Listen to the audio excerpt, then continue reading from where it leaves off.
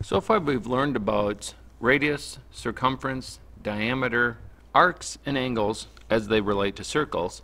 Now we're going to talk a little bit more just about special types or specific types of angles in circles. We're going to start with inscribed angles. If you remember from the end of our last lesson, an inscribed angle or inscribed polygon has its vertices on the circle. So an inscribed angle is an angle whose vertices or endpoints are on the circle. So here we have an inscribed angle theorem. As you look at the inscribed angle, we have point A, which is on the circle, point B, which is on the circle, and point C, which is on the circle.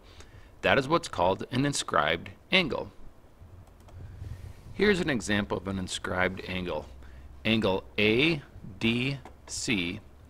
is inscribed in the circle we know that we have an arc that measures from C to A. It's a major arc, and it measures 208 degrees.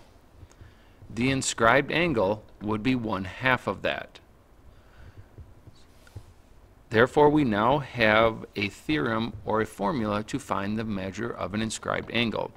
The measure of an inscribed angle is one half of the arc which connects its endpoints. Here we have three different types of angles. We've talked about central angles, an angle whose vertex is in the center of the circle. An inscribed angle, its vertex is on the circle and its endpoints are also on the circle. And then we have a nothing. The nothing means the vertex of the angle is not on the center of the circle or not from the center of the circle and it's not on the edge of the circle. So it's not inscribed and it's not a central. Let's look at the angle relationships. When it's a central angle, the arc and the central angle have the same measurement. When it's an inscribed angle, the arc and the inscribed angle have a relationship of the angle is one half of the arc. So the inscribed angle is one half of the arc. When it's a nothing, we have no idea. Here it's written out with a formula. The measure of ABC is equal to one half the measurement of arc ADC, or 2 times the measure of the angle is equal to the measurement of the arc.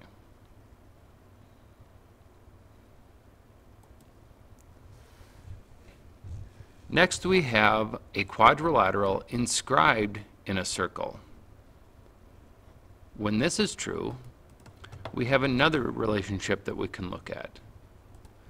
This relationship tells us that the opposite angles equal 180.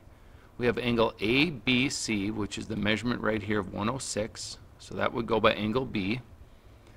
And we have ADC, which is 73.43, which would go up there. So D and B are opposite angles, and when we add their measures together, we get 180 degrees. The same could be true about angles A and C those two opposite angles would also equal 180 degrees. So we have a formula. The measure of angle A plus the measure of angle C is equal to 180. And also the measure of angle B plus the measure of angle D also equals 180.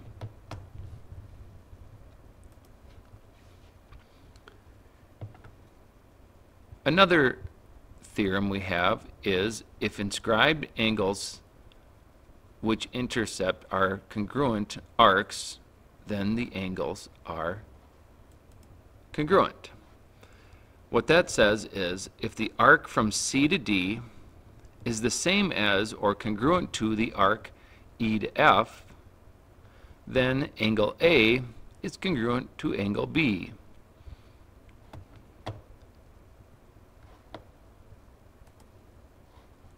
Therefore, we know the angle A is congruent to angle B.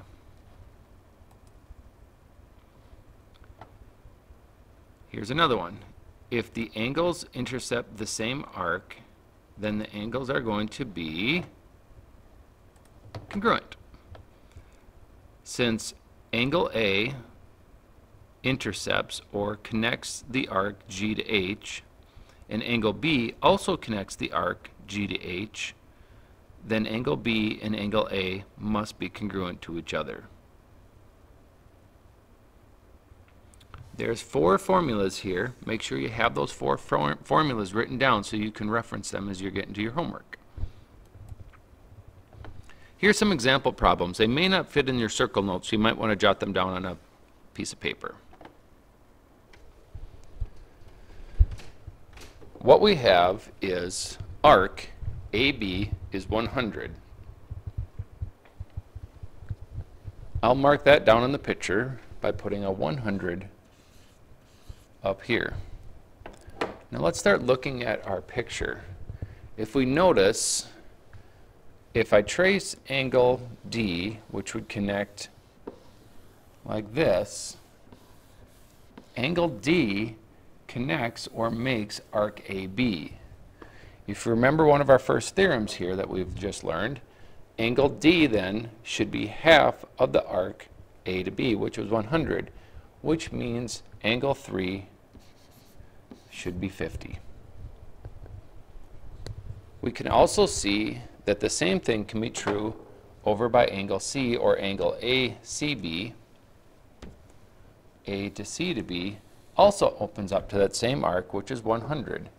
That means that this angle 6 is, whoops, excuse me, should be 50 degrees. So we know two of our angles already. Now it's hard to see, but the center of the circle is where the 9, 10, 11, 12 angles meet. The center of the circle is right here.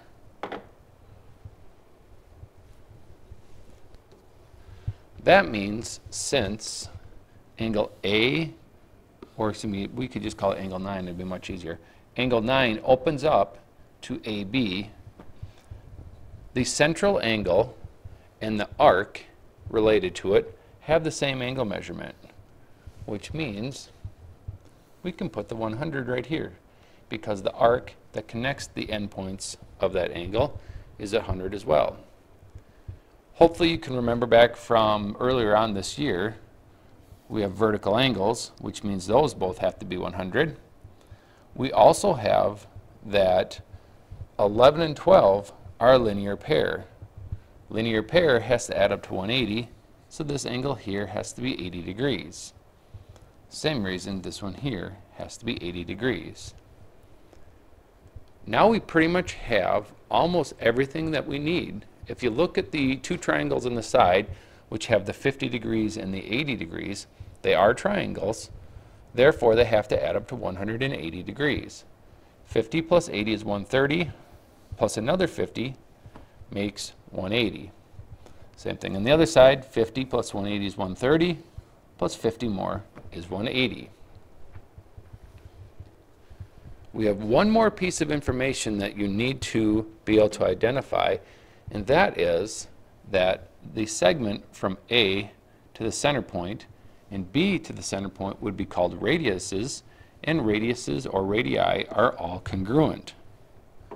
That means those two segments are congruent we have an isosceles triangle. Since we have an isosceles triangle, we know that angle 1 and angle 8 have to be the same. Angle 9 is 100 degrees. That leaves 80 degrees for angles 1 and 8. Divide it by 2 and they each are 40. The same thing can be true at the bottom of the triangle you're probably starting to realize that there's a lot of things that we're going to tie together as we're working on circles. We're going to be working with different types or different pieces of information that we've learned throughout our study so far of geometry. Here's one more question. We know what angle 1 is. It's 1 half x plus 8.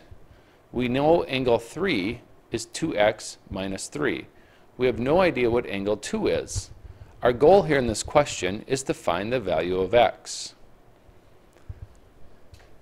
Hopefully you can see that the piece of the uh, triangle that's created goes right across the middle of the triangle, which means we have a diameter. That means this part of the arc is 180 degrees. We have a semicircle. Angle 2 opens up to that semicircle. Angle 2 is an inscribed angle. That means that angle 2, which opens up to the arc, which is 180 degrees, needs to be half of that, or 90 degrees. We now know that angle 2 is 90 degrees. If we add those three angles together, we should get 180 degrees. It's a triangle. So we have 90 plus 8 is 98, minus 3 would give me 95. 2x and a half of x gives me 2 and 1 half x plus 95.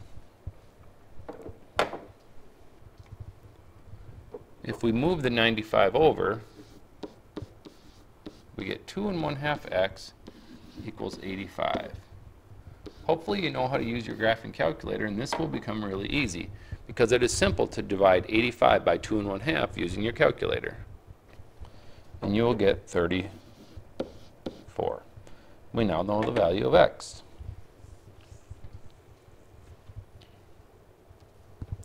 Last example. Here we have that QR is 50 and TS is 100. Those are both arcs. So the arc from Q to R is 50. The arc from T to S is 100. We want to find the measurement of all of the rest of the angles in the circle. The first angle seems pretty easy to me to start with is angle 1. As I look at angle 1, I notice that it opens up to the arc, which is the measurement of 100. That means angle 1 has to be half of that, or 50. I can also see that angle 4 also opens up to that same arc of 100. These sometimes are a little bit difficult, so tracing them helps. So you notice how I opened up or marked off angle 4? You can now see that that opens up to arc of 100. That means angle 4 is 50 degrees. Next, there must be a reason why they gave me the other arc of 50 degrees. So I should put that somewhere or use that somewhere in my picture. Well, I'm going to trace that the legs that make that arc back. So if I go back from the Q and I go back from the R, I notice that that's angle 3. Well, angle 3 opens up to the arc which measures 50. So hopefully you remember now that this should be half of that, or 25 we now would know what angle 3 is. Now we can use the theories of our triangles. We have this triangle with angles 1, 2, and 3. That has to be 180.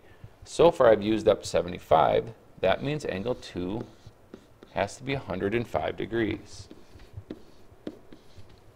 Angle 5 is vertical to that, so it also has to be 105 degrees. And lastly, we can see that angle 6 is the missing angle of the triangle. We have 155 already, so we need 25 more to make our triangle. And there we have it. There's lots of pieces to this. Hopefully you followed all the way through, and please make sure you note any questions and come back to class and ask.